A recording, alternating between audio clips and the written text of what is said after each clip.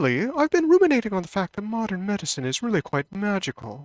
Why's that, Bob? Well, just take my latest patient, 100 million year old Apatosaurus. No spring chicken, if you know what I mean. Yeah, okay. Naturally, her kidney function is practically non existent, Uh-huh. liver totally shot, Okay. and she's on all the meds. Huh?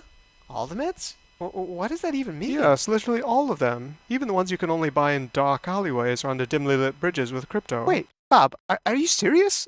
I, I, don't think that's a good idea. And yet I can prescribe her meds just like I would for a 70 kilogram, 25 year old Caucasian human male. Bob? Like her volume of distribution Bob. and body fat composition should be completely different, but somehow it just Oh works. goodness, I feel like a wizard, Oh, like Luke Skywalker from the Harry Potter series. Okay, I didn't want to be the one to do this, but I- I'm really sorry, Bob. But the other faculty and I, we've been meaning to talk to you about your prescribing habits. Whatever for? They're bad, Bob. Really bad. no, Billy, that's just malarkey. No, Bob. We all dread covering for you because it takes forever to clean up after you.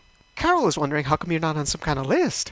Please, does Carol think that Bob is my real name? Robert, I'm being serious here. How did you know my real name? Have you been going through my mail? Bob, focus. Here, I want you to take a look at the Beers criteria. Billy, I know it's malpractice to have beer before 5 p.m., which is why I only have hard liquor in the office. No, Bob, it's named after a guy. You know what? That, that doesn't matter. This is a guide that'll help you cut down on your inappropriate prescriptions for your older patients. Billy, this is absurd. Antipsychotics are listed here. So are you telling me that if I have a patient with dementia who's screaming like a banshee that I shouldn't be giving her haloperidol? Yes, a- as a general rule of thumb, not giving haloperidol would be a good thing. It can't be. Bob, it's not so unreasonable, is it? I mean, think about it. You don't give haloperidol to kids when they throw tantrums, so why would we give it to older adults? Bob, uh, have you been giving antipsychotics to little kids? Are you truly suggesting that you sat through Encanto in a movie theater without giving anyone a little vitamin H? Holy smokes, Bob! That's how you get the little tykes to stop talking about Bruno. Bob, j- j- just look over the guide.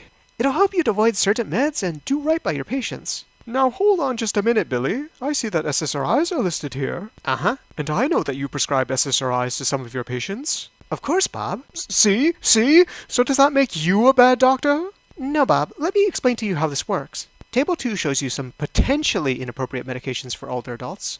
Notice that you're given a rationale and a nuanced recommendation of why and when you shouldn't be using these meds. There will still be some circumstances in which you prescribe these, but it shouldn't be most of the time. Table 3 gives you some recommendations regarding specific illnesses or syndromes like heart failure or delirium in which it may be inappropriate to use certain medications. Table 4 is kind of like Table 2, but it just says that you should be cautious about some of these meds. You know, keep them on a short leash. Table 5 lists a bunch of notable drug drug interactions. Table 6 lists a bunch of meds that can cause drama with reduced renal function. Table 7 lists a bunch of notable meds with anticholinergic properties. These often cause side effects, so, you know, if you're reaching for an antidepressant, don't start with paroxetine. And tables 8, 9, and 10 are for all you people out there who are familiar with the previous edition of the Beers criteria and just need to know what's changed between now and the last version. Billy, what's going on here? Who are you talking to? Oh, uh, um, no one. Never mind. So, ultimately, you'll always need to apply your clinical judgment regarding whether something is appropriate. Billy, this is so long and complicated. How am I supposed to memorize all this? Practice, Bob. Just like everything else. You keep an eye out for dangerous meds and combos in your patient visits, and you'll get the hang of this in no time. Billy, it's just that, well, I know that I'm a good doctor. I've been practicing the same high quality medicine that I always have for the past 70 million years. Uh, Bob? That's not necessarily a. Well, I know what you're getting at. And now all these suits and sycophants are trying to destroy my legacy. My practice has saved countless lives. Am I to believe that I've been doing a bad job all this time? No, Bob, the Beers criteria isn't an indictment against you. It's not about you at all. Medicine evolves over time. We all need to strive to improve, which is why we're all lifelong learners.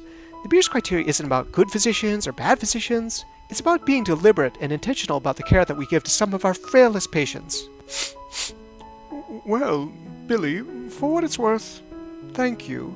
Your devotion to improving the care of your patients is laudable. Ah, don't mention it, Bob. I'm just glad that I can tell Carol that we had this talk. You know, she was actually a little concerned that maybe you hadn't graduated from med school or something crazy like that. Can you imagine? Darn it, I told that to her in confidence.